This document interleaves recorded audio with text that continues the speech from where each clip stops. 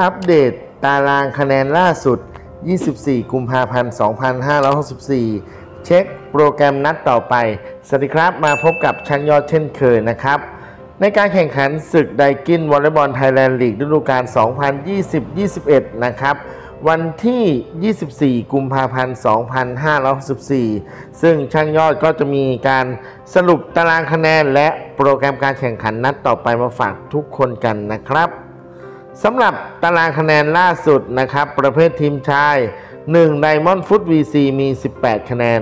2 นครราชสีมาเดอะมอลล์ VC มี 18 คะแนน 3 Air Force มี 10 คะแนน 4 พิษณุโลก VC มี 9 คะแนน5 Print VC มี 7 คะแนน 6 มอเอเชียเกาะกูดคามาน่ามี 6 คะแนน 7 วิสาขามี 4 คะแนน และ 8 เกษตรศาสตร์ VC มี 0 คะแนน ประเภททีมหญิง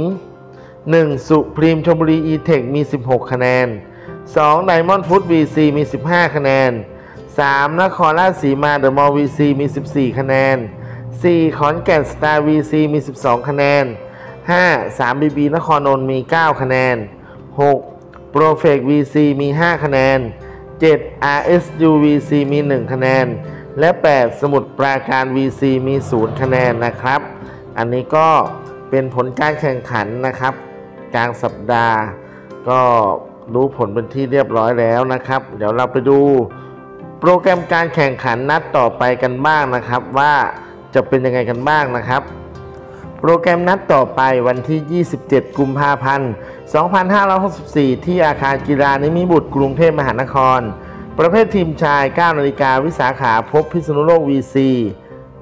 ประเภททีมหญิง 12 นาฬิกา3 BB นครนนท์พบโปรเฟล็กซ์ VC